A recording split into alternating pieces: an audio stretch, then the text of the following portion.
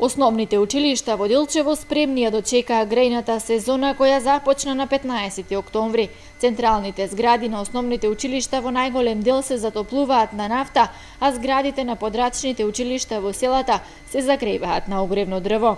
Во двете основни училишта за почеток се набавени по 5 тони нафта и по 30 метри кубни огревно дрво за потребите на подрачните училишни згради на основното училиште Ванчо Прке и 50 метри кубни огревно дрво набавило основното училиште Свети Климент Охридски за подрачните училишни згради.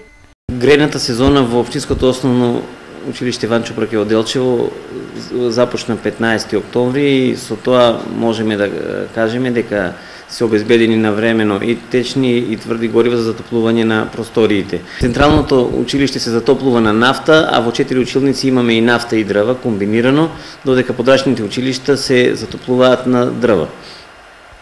Имаме обезбедено 5 тони нафта за почеток и 30 кубика дрва, а по планот за загревање на училиштето ни се потребни 26 тони нафта и 100 кубика дрва. Со тоа што имавме замена на столаријата и на кровот и очекуваме дека оваа година ќе имаме некоја заштеда во ресурсите. Значи очекуваме некаде да околу 3 тони нафта да биде заштедено оваа година. Готвени ја почекав, пречекавме новата грејна сезона со доволно количини на нафта и со доволно количини на огревно дрво за подрачните училишта. Централното училиште во, во градот Свети Климент Охридски, загревањето го врши на нафта. Имаме доволно количини, имаме залиха од минатата година. Во моментот имаме набавено 5000 литри нафта Меѓутоа, со текот на месеците кои што идат, ќе набавиме уште 10.000 литри до крајот на првото полугодие. Останатите потребни количини за загревање ќе ги набавиме во текот на второто полугодие. Подрачните училишта се загреваат на дрва. До сега имаме набавено околу 50 метри кубни дрвја.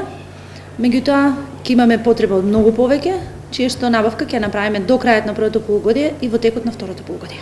Минатата грејна сезона основното општинско училиште Ванчо Прке има потрошено околу 25 тони нафта и 90 кубни метри огревно дрво. Основното општинско училиште Свети Климент Огрицки потрошило исто така околу 25 тони нафта за централното училиште и околу 200 метри кубни дрва за подрачните училишта. За сега директорите во секторот образование не пријавиле никакви проблеми околу загревањето на училиштата.